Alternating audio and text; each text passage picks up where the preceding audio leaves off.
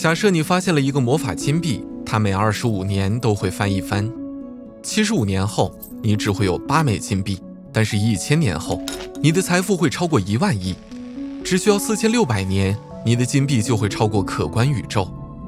这种周期性翻倍是指数增长的一个例子。虽然我们现实中没有发现哪种魔音币有这种神奇而迷人的危险性，但在过去的二百年里，有一样几乎同样重要的东西在爆发式的增长。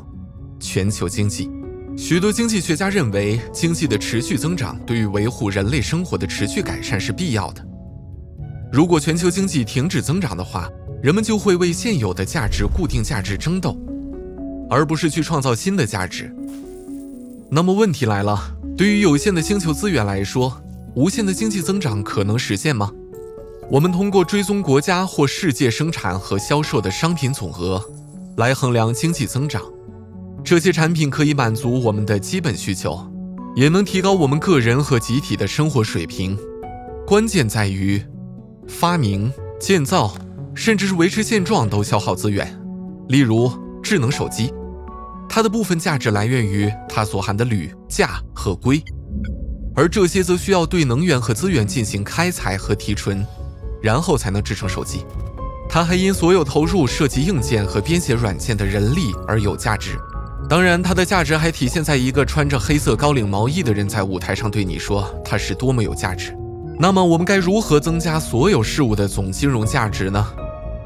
一种方式是制造更多的东西，另一种方式是发明新的东西。无论你怎么做，经济增长都需要资源和能源的支持。最终，我们会把它们消耗殆尽吗？为了回答这个问题，让我们考虑一下经济所需的原料都有什么。而经济又生产了什么？它需要劳力、资本，或者说钱，以及自然资源，比如水或者能源。然后它产生了价值。在过去二百年里，经济体在创造价值方面的效率呈指数级提高。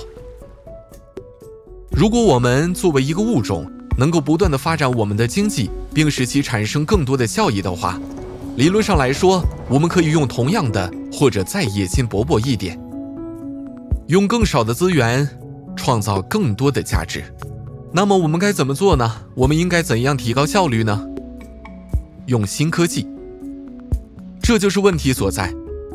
新技术除了能提高效率外，还会产生新的需求，然后最终会消耗更多的资源。事实上，我们并没有面临耗尽大部分资源的紧迫危险，但我们有一个更大且更紧迫的问题：全球经济。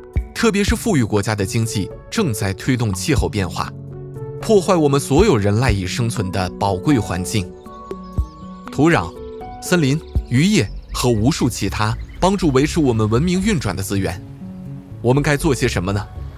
这就是经济学家们在争论的东西。大多数经济学家认为，新思想将能够解决大部分的问题。他们认为，对于能源的成倍增长的使用。也极大程度上促进的增长，人类的创造力也成倍增长，并将以我们无法预测的方式应对这些挑战。举个例子，两千年至二零一四年，德国的 GDP 增长了百分之十六，同时也减少了百分之十二的二氧化碳排放，这令人印象深刻。但它的减排速度仍不足以。将气温上涨限定在一点五摄氏度以内。出于这样那样的原因，有些经济学家认为应该彻底改变我们现存的经济结构和能源消耗。他们认为，我们真正应该做的是摆脱对增长的依赖，并转向后增长经济。那会是怎样的呢？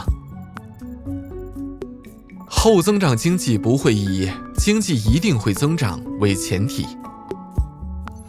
相反，它需要我们专注于改善我们真正需要的东西，比如可再生能源、医疗保健和公共交通。为了做到这一点，后增长经济学家建议富裕国家应该采取措施，比如保障最低生活工资、促进财富和收入平等，并确保普及医疗等公共服务。在这样的经济运转下，理论上来说，人们将不再那么依赖工作来谋生。或来获得医疗服务，因此减少被认为不那么必要的产品的生产，会变得更加更可行。但这引发了其他问题，谁来定义什么是必要的呢？我们怎样才能解决不可避免的分歧呢？我们能够从所有的行业中脱离出来吗？我们会有新的方针来解决现有问题的法案，看起来就像那枚魔法金币一样的不现实。而我们必须从根本上改变我们的经济的提议，在政治上似乎令人望而却步，尤其是在富裕国家。无论如何，我们必须找到一种既能造福所有人，又能保护我们的地球的方法。TED-Ed 致力于为使用多种语言的更多的人提供免费的高质量教育内容。通过向我们的 Patreon 捐款来帮助支持我们的非盈利使命，并且不要忘记订阅此频道。